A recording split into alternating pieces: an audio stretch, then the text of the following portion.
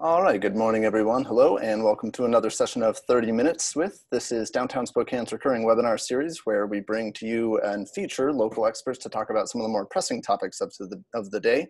Uh, for those of you who don't know me, my name is Kevin Campbell. I am the Business Relations Coordinator for the Downtown Spokane Partnership. And here at the DSP, some of our, the core principles of our mission are to ensure the safety and vibrancy of the downtown core. So today we're going to be featuring Chris Seim, who is a member of the DSP Ambassador team. If you've worked or been around downtown, you've more than likely seen the team in their blue uniforms walking around downtown. So we're excited to have you here today, Chris. Uh, Chris is going to be talking about uh, something known as CPTED, which is crime prevention through environmental design. So if you have any questions during Chris's presentation, uh, feel free to put them into the chat box. Otherwise, at the end of the session, after, after the prepared portion, we can uh, open things up to a live Q&A if you do have any questions then. And I'll also note that we do record these sessions and post them online. So all of this content you'll be able to reference and share later in the future. So with that, I'll go ahead and pass things over to you, Chris. If you are ready, uh, go ahead and take it away. And thanks for being here with us today. Yeah, hi. Um, so um, CPTED, yep, like you said, that's a uh, acronym for crime prevention through environmental design. And um, two years ago, um, I was sent off to uh, take a basic course in that and um, got certified in basic CPTED. And um, so basically, like Kevin was saying, you know, our goal here is to um, kind of, you know, promote growth and everything down here. And CPTED's a good way to help um, discourage a lot of negative activities, but can also help bring businesses to your location and encourage growth and positive activity in the community. And so um, CPTED is based off of um, four basic principles.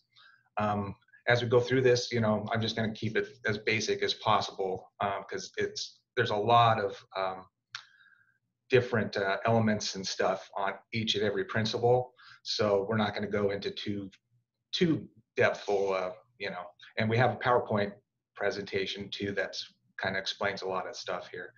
Um, but the four principles of CPTED um, in contrast to the approach of addressing crime concerns by implementing visually affronting security or target hardening measures such as locks, hard barriers, security gates, uh, security patrols, etc. Um, CPTED promotes quality and visually pleasing solutions that help aim to enhance the legitimate use of space.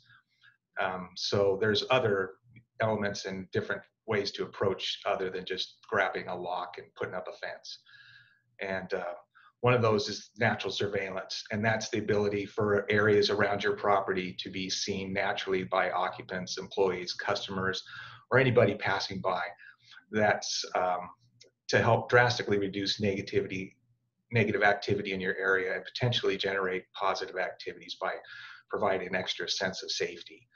Um, we'll go into more details with each one of these on the PowerPoint. Um, natural access control, that's um, basically keeping unauthorized, non-legitimate type users, people out of spaces that they're not welcome in. Um, this will deter negative activity in restricted areas such as, you know, employee break rooms, uh, back areas, garbage recycling areas, things like that. Um, territorial reinforcement, um, that's reinforcing ownership of your property through clear identification, be it, you know, signs and such. Um, showing ownership indicates that indicates to unwanted people that um, your space is clearly designated as yours and is intended for use as such and discouraging any other forms of negative activity. Um, maintenance and management, that one's um, pretty important. Um, maintaining your property express occupancy and ownership, you know, showing pride in your storefront, be it, or, you know, the parking lot, um, as with territorial reinforcement, consistent maintenance and management of your property shows that this space is frequently inspected and regularly maintained, adding to the notion that there may be eyes in, on at all times and help discourage negative activity. Um, so those four elements we can go more into on the PowerPoint, um, and I'll go ahead and uh, get that up here for you. and see if I can, well, we had to do a few changes here to get this to uh, work right. Okay, is that working for everybody? Or no? Yeah, that should work fine, Chris. Oh, I'm doing the PD. Uh, No. Okay, I found it. Hold on a second. This is going to be better. So.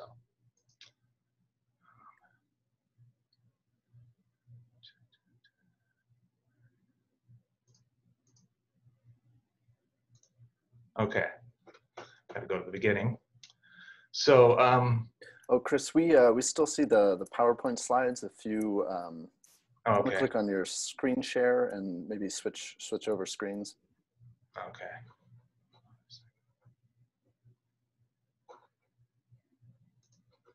Just gonna close that one out then. Go back to screen share.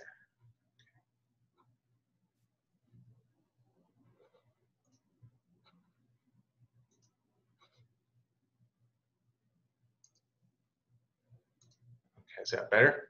Yep, looks good. All right. So um, going back into the principles of CPTED, you know, it's relatively a new approach to uh, security. You know, um, in contrast to the approach of addressing crime concerns by implementing visually affronting security or target hardening measures such as locks, hard barriers, and security gates. Um, CPTED promotes quality, visually pleasing solutions, like we had mentioned earlier. So it can be applied without interfering with the normal use of the space. It is easy to apply and can be economically um, easy to implement, especially if it is done early in planning stages.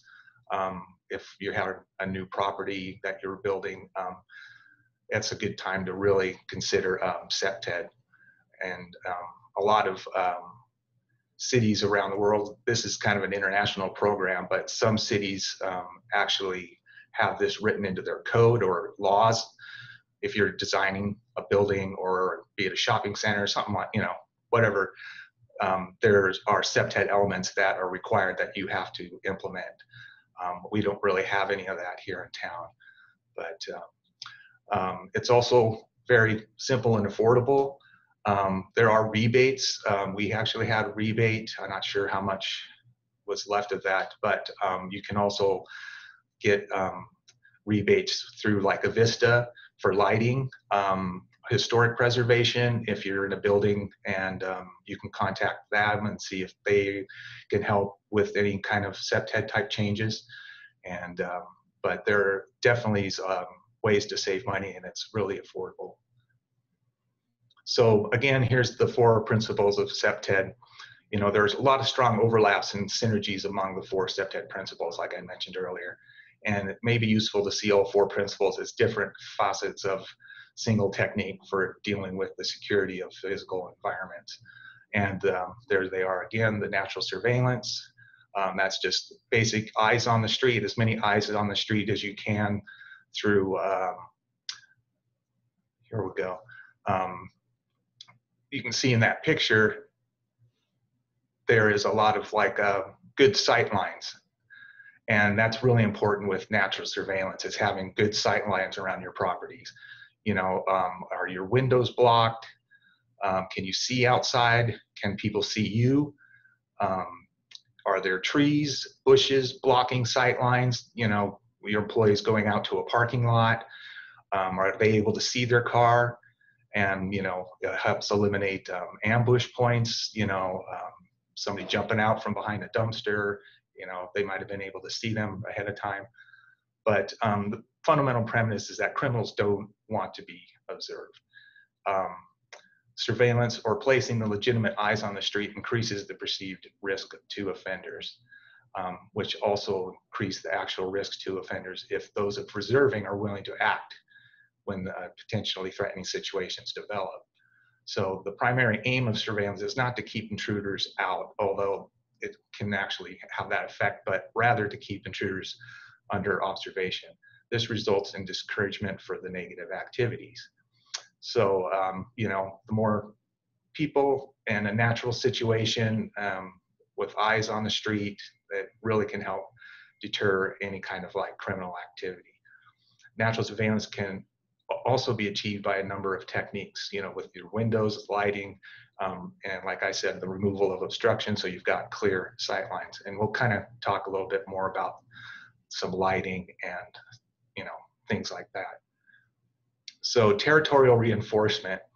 Um, people naturally want to protect the territorial that they feel is their own. You know, it's just like Clint Eastwood, you know, get off my lawn.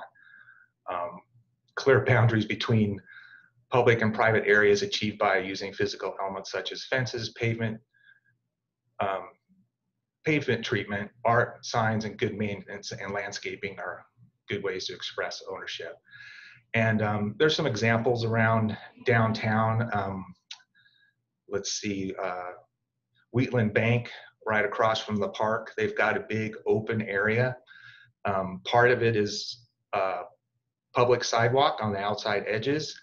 And as you kind of walk more towards the bank, that front area, it transitions into kind of semi-public. So technically it is private property, but it has public access.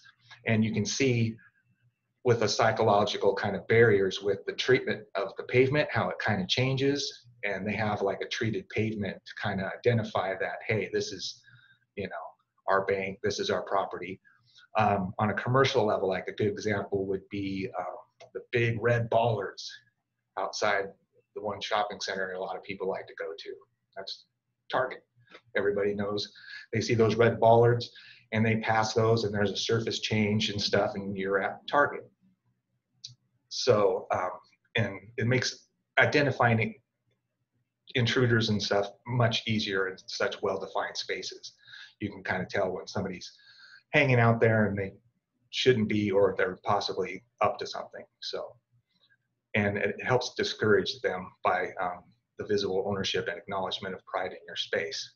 And again, you can see in the picture, you've got some large windows up above on the second level, you know, that kind of um, offers observation over, be it like maybe there'd be a cafe, open air cafe down there or something.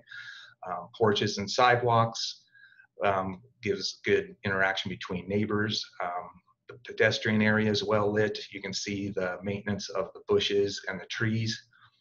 Um, basically, the ground level uh, plants, if you were to design a property, you would want to maintain about a two foot level. And any tree canopies, you want to limb those up to, say, about six feet to give proper sight lines and uh, I did a CPTED out west at a property, and um, they have trees, and even though they are kind of limbed up, they're really really dense, and makes it hard to see through the windows. and another example was a property I did in their parking lot, and they had trees, and it's something to consider when you plant trees and things is what are they going to look like five years, ten years from now? Because what happened is they had these huge trees and the lights to light up the parking lot were up and basically surrounded by foliage. So they didn't really have much of an effect. So it's important, as we'll get into one of the other um, elements here of maintenance, that you kind of maintain um, vegetation and stuff like that to maintain proper sight lines and stuff. So you've got that natural surveillance available for identifying any situations um, natural access control. So that um, relies on doors and your fences and shrubs and other physical elements to keep unauthorized people out of a particular place. And if they don't have a legitimate reasons for being there. Um, property located entrances, exits, fencing, landscaping, and lighting can subtly direct um, both foot traffic and vehicular traffic in ways that decrease criminal opportunities. Um, psychological barriers can be used to achieve the object of access control. These barriers may appear in the form of signs, paving textures, na nature strips, or anything that announces the integrity and uniqueness of that area. So yeah, signage is um, really important. Um, mostly a lot of it's for like wayfinding. If you've got people coming to, um, you're up in an office building, you know, and your clients can't find the building or you know the proper entrance to get to the directory that might be inside um, those type of things um, are very important and also proper signage to keep people out of areas that they're not supposed to be in. And um, if you know trespassing, um, don't obstruct doors, you know, for exits. And um, in some of these pictures, you can kind of see, like the very top picture, um, you can see they have their uh, landscaping done correctly and they've got fences and the sidewalks help naturally guide people towards the building. So, and you can see all the way to the back of that building to where maybe the entrance is. So, you know, those little natural things help guide people into areas and also kind of defines the property as far as what is public, what is semi-public, and what is private. So down below, you can also see kind of like different texture changes along there with like guided pathways that help kind of direct people to where you want them to go and places that you don't want them to be. So moving on, maintenance and management, which is very, very important. Um, you can see in those pictures, it's pretty obvious that, um, you know, overgrowth of vegetation and stuff can really make your yard look dilapidated and, you know, you've probably seen, you know, the one neighbor might not take care of their property and they're more likely possible to get targeted. And uh, it really just kind of brings down the whole area anyways and shows you know a lack of pride and um, care of your place. And so other people will get that feeling that hey you know these people obviously don't really care and they're more likely an opportunity for me to go in and do something and be it even an alleyway if the back of your alley looks horrible and you've got beer cans and things like that, it's just more of an opportunity for somebody to think that, yeah, nobody pays attention to this area. It might be a good way to get into like the back door.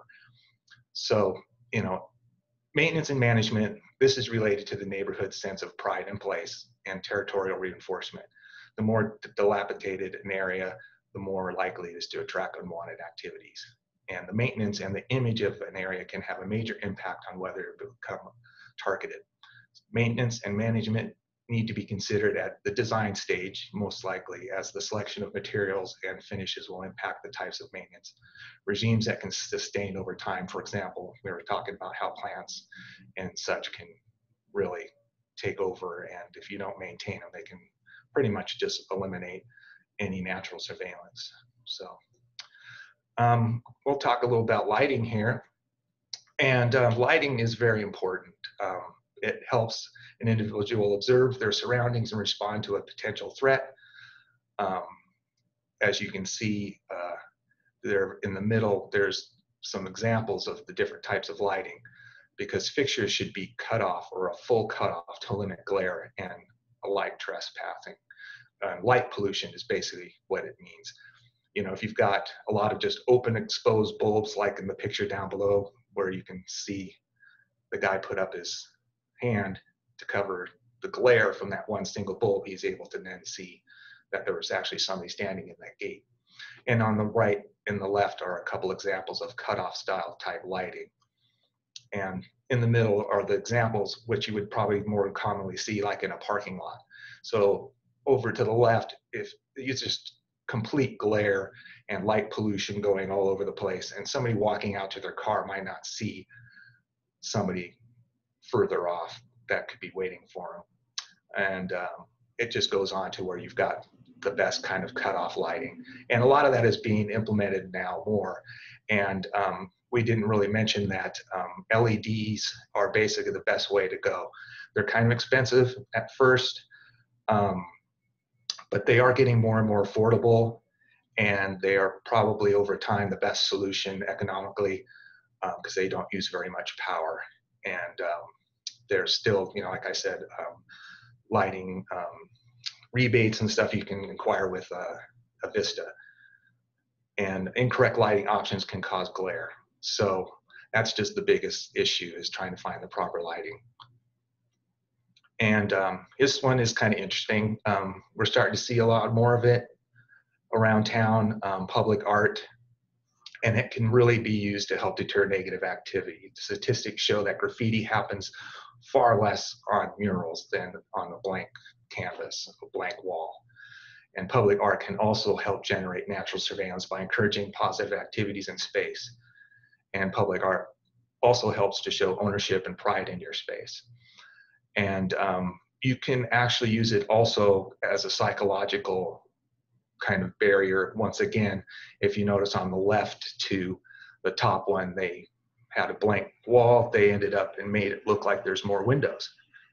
And there's actually people painted in some of those windows. And same over on the far right, you can see they painted that um, with a person sitting on the balcony. So it kind of gives this psychological effect that, hey, I'm being watched. And um, on areas that you don't have windows, you could implement something similar to that to kind of give this false sense that I'm being watched. And in the middle, we have a lot of these around downtown that are already covered, um, like the control boxes at intersections and things, and even trash cans. Um, they're painting them, and that really helps deter graffiti. And I think a lot of people can say that they've seen that because I, you know, I walk around all over downtown and see these control boxes, and before they put those wraps on them, they were a common target for getting tagged.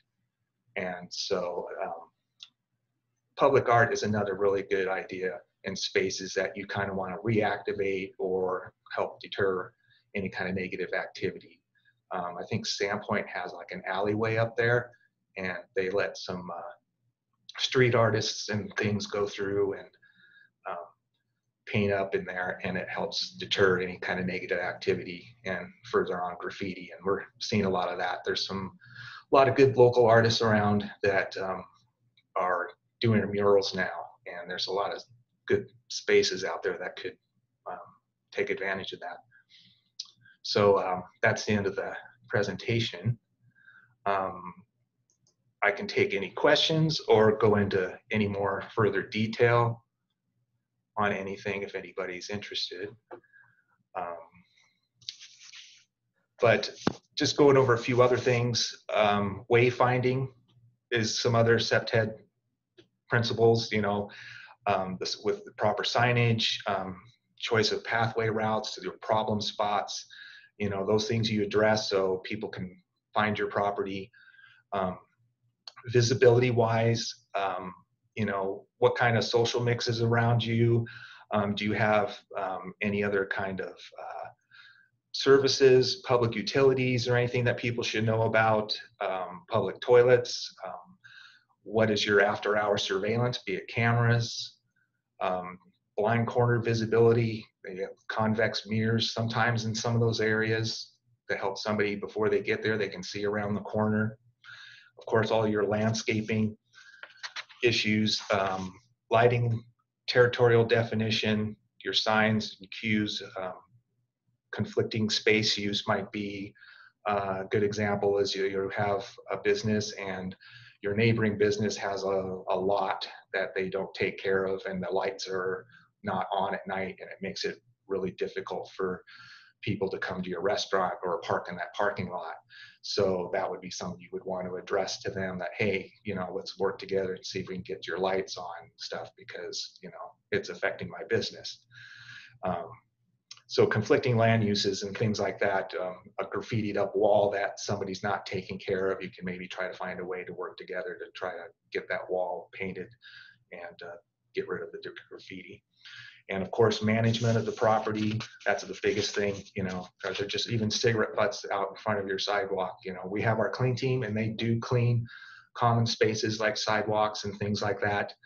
Um, but we do know that there's a problem with like the recessed doors in downtown with um, people using them to sleep at night or duck in and do um, um, negative type activities and stuff, and often leave trash and things like that behind. So um, if we everybody works together and gets that stuff type taken care of, it really gives a better sense of pride in the neighborhood.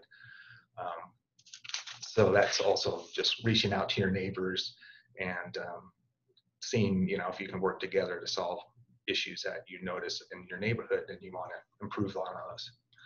So um, different building materials, you know, the um, vandal resistant type materials now, there's, you know, a lot of seats have been taken out of downtown, but see, someone had a question. I've noticed a number of downtown properties have implemented designs that discourage. Yeah, yeah, a lot of it is starting to. Um, I've done probably close to just under 15 CPTED assessments that you can contact us and we can come. And it's mostly focused on the outside. But um, if you need somebody to come and kind of walk around your property and give you suggestions um, and possibly even give you a little bit of a report, um, we can do that. And you can um, go to our website and um, go under there, and I believe it's in kind of safety. Um, there's a link to request a CPTED uh, assessment and uh, myself or somebody else will come out and we can meet with you or not and just walk around the property. We even come back down at night and take pictures um, to uh, see what the lighting's like. And even on those occasions, I've noticed that we times have to reach out to the city. Um, there's a particular area um, downtown where a lot of the uh, overhead streetlights were out, and it just made a lot of dark areas. And so, you know, I suggested that the people uh, contact the city about addressing the lighting. So that's pretty much all I've got right now. Um, I'm open to any other questions if anybody has any, or uh, you can contact us if you have any further questions. Um, I can be reached at um, security at downtownspokane.org. Um, you can reach out to me and ask any questions, and I can get back to you and hopefully give you an answer.